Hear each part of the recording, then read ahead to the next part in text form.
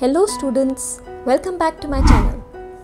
Did you know that behind every product you use and every service you enjoy, there's an invisible force of choices and trade-offs.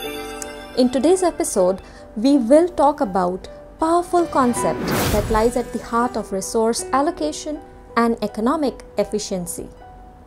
In this mind-bending journey, you will question the very limits of what our society can produce. So get ready to uncover the hidden potential of our economy and discover how the choices we make can shape the world around us. So grab on your thinking caps and join me as we embark on this adventure into the realm of production possibility curve. Now, PPF, PPC, you can give it many names. PPF stands for Production Possibility Frontier and PPC is the short form of Production Possibility Curve. A PPC curve is a graphical representation of possible combinations of two commodities or two goods that can be produced with given resources and technology. In other words, if you want to write it down, you can write it as a locus of various possibilities of combinations of two commodities or goods that can be produced with given resources or technology. Let us quickly take a look at what are the assumptions of the PPC curve. Now many of you must be thinking why there are assumptions. These assumptions they help us to simplify the complexity of the real world situations, right? So let us quickly take a look at what are the assumptions. The first assumption is we have fixed resources. So the quantity of resources are fixed and as far as we know the scarcity definition, we are aware that all the resources that we have on earth are fixed in terms of quantity but they have alternate uses. So they can be put to one use from another. So maybe say for example wood. Wood can be used to make furniture or it can be used as a medium of fuel or it can be used to construct buildings or houses. So there are multiple uses that a particular resource can be put to. There are only two goods that can be produced with a given set of resources. So whatever fixed quantity of resources we have, we can produce only two goods from those resources. So that's it's an assumption. In reality, we can make multiple goods, but we are sticking to two goods only for the sake of simplicity. We assume that there is full and efficient use of resources. In simple terms, we can also write it as full employment. Every resource that this economy has is being fully and efficiently utilized.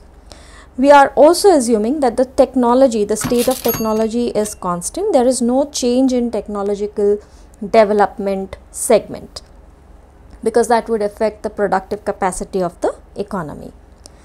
Again, quite related to point number one, resources are not equally efficient in production of all goods. That means whenever resources are being transferred from one use to another, since the resource may not be efficient in production of the second use that it is being put to, the productivity of that commodity may fall. Alright. Let's quickly take a look at how we can represent a PPC curve through a schedule and a diagram. So this is a schedule. We call this table as a PPC schedule and we can see that we have several columns here named as possibilities, two commodities named paper and cloth in our case we have MOC which is the marginal opportunity cost and MRT I didn't write the full form it's marginal rate of transformation alright. Now what does this table tell us? So this table gives us various possibilities of combinations of these two commodities that can be produced with the given resources. So in possibility A, it's an extreme case where all the resources that the economy has are used in production of paper and there's no cloth that is getting produced in this economy. Likewise, G is also an extreme case where all the resources are dedicated to produce cloth and no output of paper is happening in this particular economy. So when we take a look at these columns which are named as paper and cloth, these are the two commodities that are getting produced. We can see that it is giving up paper to produce more of cloth. That's what we meant by the last assumption that when resources are shifted from production of one commodity to another, the output, the productivity would fall. So, how do we analyze whether the productivity is falling or not? So, these two columns, namely MOC, which is marginal opportunity cost, MRT, which is marginal rate of transformation, these two columns would help us to know what is the trade off that is being made by this economy when it is deciding to produce more of cloth. Now, when we see here in the combination B, the output for paper has gone down from 50 units to 48 units and uh, since the resources are being diverted for the production of cloth we are able to get 2 meters of cloth. We are measuring uh, cloth in terms of meters. So we are getting 2 meters of cloth. Likewise at possibility C we see there's a further more reduction in the output of paper. It goes down from 48 to 44 units and we are able to gain two more additional units or two more meters of cloth. So instead of 2 meters now we are able to produce 4 meters of cloth. If we see this column we can observe that um, as we move closer to G we are giving up more and more units of paper to produce an additional unit of cloth. This is what we mean by marginal opportunity cost. So when the production moved down from 50 units to 48 units, marginal opportunity cost was 2. When my production went down from 48 units to 44 units of paper, marginal opportunity cost was 4. The difference between these two is 4. Likewise, when production for paper went down from 44 units to 38 units in combination D, we are producing 6 units of cloth opportunity cost or marginal opportunity cost is 6 which is the difference between these two. Likewise, if we see marginal opportunity cost is in an increasing trend. So it is going upwards from 2 all the way up to 18. MRT is the ratio of number of units of a commodity that is getting sacrificed in our case it is paper to gain an additional unit of another commodity. In our case, that commodity is cloth. So that's the formula to calculate MRT. So marginal rate of transformation is calculated as units sacrificed over units gained. In our case, according to this uh, situation, MRT would be change in paper which is delta paper over delta cloth. If we take for example the possibility B, it has to be possibility C. Let me just quickly correct that.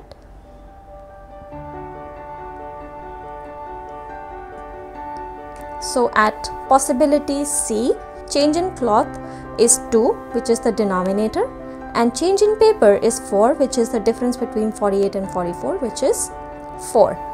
So at possibility C, my marginal rate of transformation is equal to 2. Now if you observe this column here, it shows me how many units of paper have been given up to gain additional units of cloth. Now when we use the same equation and we substitute all these values, these are the values of MRT that we get. The figures in green so at possibility B it is 1, at possibility C it is 2, so 4 over 2 at possibility D it is 3 that is 6 over 2. Likewise possibility G which again which is an extreme case. So 18 over 2 is 9. Now if we observe very closely just like MOC MRT is also in an increasing trend. That's what I've written here. MOC and MRT both are increasing. Now what is the significance of this statement is what we will see when we plot the diagram. So now let's quickly take a look at uh, how the diagram for production possibility curve could be plotted. So we have paper which is the commodity that we are sacrificing to gain more of cloth. So paper is plotted on y-axis, cloth is plotted on x-axis, cloth is measured in meters, paper in units, right? So at Possibility A, we have 50 units of paper with no production of cloth altogether. So we have a point here. At possibility B, we have 48 units of paper with 2 units of cloth. At possibility C, we have 44 units of paper and 4 units of cloth likewise we move down all the way up to G where there is no output for paper but we have 12 units of cloth now after joining these pointers we get our PPC curve which is the production possibility curve now with this curve, we are able to identify whether the economy is operating at a full employment level, whether it is fully utilizing its productive capacity or whether it is underutilizing its, its productive capacity or if certain combinations of goods are attainable or unattainable. So, all the pointers that lie on this red curve which is a PPC curve are the points which will indicate that this economy is operating in a full employment level. There is full and efficient use of all the given resources in this economy. Any point to the left of this particular curve, let us say if we have a point here, which is this, uh, we name it as T.